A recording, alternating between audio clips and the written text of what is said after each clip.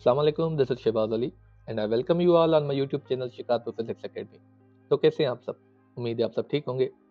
आज का जो हमारा लेक्चर है वो क्लास मैट्रिक से है चैप्टर नंबर फाइव से लेक्चर नंबर टेन है factors on which capacitance depends तो आज के लेक्चर के अंदर हम जो है पढ़ेंगे कि कैपेसिटेंस जो है वो किन किन फैक्टर्स पे डिपेंड करती है।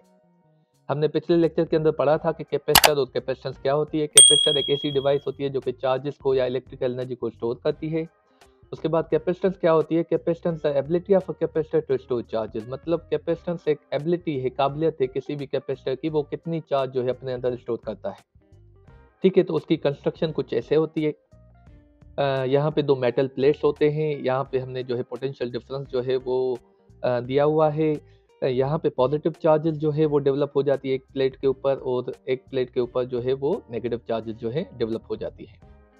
ठीक है, अब हम पढ़ेंगे कि ये जो कैपेसिटेंस है मतलब ये जो एबिलिटी है टू स्टोर चार्जेस ये किन फैक्टर्स पे डिपेंड करती है। सबसे पहले आप यहाँ पे देख लें कि ये जो एरिया ऑफ़ द प्लेट है मतलब ये जो दो प्लेट्स है, इनका एरिया है, ठीक है? और इन दोनों के दरमियान जो डिस्टेंस है मतलब दो प्लेट्स के दरमियान जो डिस्टेंस है, उसको हमने जो है वो डी से डिनोट किया हुआ है। और एरिया ऑफ़ द प्लेट को हमने जो है वो ए से डिनोट किया हुआ है। ये भी ए है, ये भी ए है। तो चलिए आगे बढ़ते हैं कि मतलब ये जो कैपेसिटेंस है इस कैपेसिटर की ये किन फैक्टर्स पे डिपेंड करती है? तो देर आर सम फैक्टर्स यहाँ पे आप देख सकते हैं मैंने लिखे हुए हैं।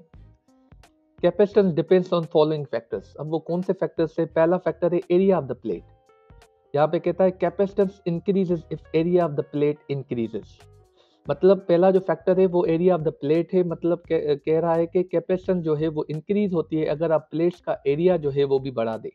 तो यहाँ पे भी लिखा हुआ है capacitance is directly proportional to the area आपको फिगर में समझाते हैं। यहाँ पे आप देख सकते हैं कि ये जो एरिया है इसका, अब जितना एरिया आप बढ़ाएँगे, ठीक है, उतनी ज़्यादा चार्जेस जो है इन पे डेवलप होगी, उतनी ज़्यादा कैपेसिटेंस बढ़ेगी।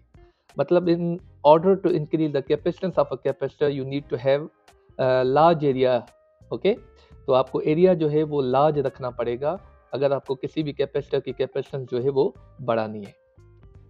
उसके बाद जो है, दूसरा जो फैक्टर है, वो है डिस्टेंस बिटवीन द प्लेट्स अब डिस्टेंस बिटवीन द प्लेट्स के बारे में कहा जाता है कि capacitance increases if the separation distance between the plates decreases इसका मतलब ये हुआ कि दो प्लेट्स के दरमियान में जो डिस्टेंस है, वो आप जितना बढ़ाएँगे, उस कैपेसिटर की कैपेसिटेंस उतनी कम होगी. यहाँ पे आप देख सकते हैं, लिखा हुआ है कि capacitance is inversely proportional to the distance अब कैसे यहाँ पे आप फिगर में आपको समझाते हैं? यहाँ पे आप देखें कि इन दोनों के दरमियान में ये जो डिस्टेंस है, अब यहाँ पे जितना ये डिस्टेंस आप बढ़ाएँगे दो प्लेट्स के दरमियान में, उतनी कैपेसिटेंस कम होगी। क्यों होगी? यहाँ पे देखें, इनके दरमियान में होती है इलेक्ट्रिक फ़ील्ड ऐसे। ये इलेक्ट्रिक फ़ील्ड होती है, ठीक है पॉजिटिव से नेगेटिव की तरफ़ इलेक्ट्रिक फ़ील्ड होती है। अब जितनी इलेक्ट्रिक फ़ील्ड स्ट्रांग होगी, उतनी जो चार्जेस डेवलप होंगी, वो ज़्यादा होंगी। एक दूसरे को अट्रैक्ट करेंगी। अब जैसे ही आप सेपरेशन बढ़ाएँगे इनके दरमियान में इलेक्ट्रिक फ़ील्ड जो होगी वो कम होती जाएगी। अब इलेक्ट्रिक फ़ील्ड जब कम होगी तो डेफिनेटली जो है चार्जेस जो स्टोर होंगी प्लेट्स के ऊपर वो भी कम होंगी। तो इसी वजह से ये डिस्टेंस आप जितना कम रखेंगे उतनी जो चार्जेस ज़्यादा डेवलप होंगी हैंस कैपेसिटेंस विल इंक्रीज ठीक है? लास्ट फैक्टर जो है वो है डाई इलेक्ट्रिक कॉन्स्टेंट ठीक है? जिसे एप्सलॉन आर से भी uh, जो है डिनोट किया जाता है। एक्चुअल में ये होता है परमिटिविटी ऑफ़ द मीडियम ठीक है? पहले आपको ये फैक्टर जो है पढ़ाते हैं, उसके बाद समझाते हैं। तो इसमें कहा जाता है capacitance increases if insulating medium of high dielectric constant is used अब यहाँ पे कहता है कि कैपेसिटेंस बढ़ेगी अगर आप जो है इंसुलेटिंग मीडियम जो है या फिर डायलैक्ट्रिक जो है वो ज़्यादा कांस्टेंट वाला इस्तेमाल करेंगे।